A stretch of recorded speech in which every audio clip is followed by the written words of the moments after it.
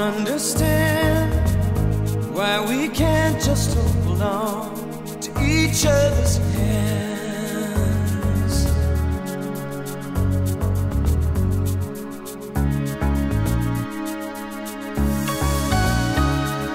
This time might be the last I fear, unless I make it all too clear. I need you.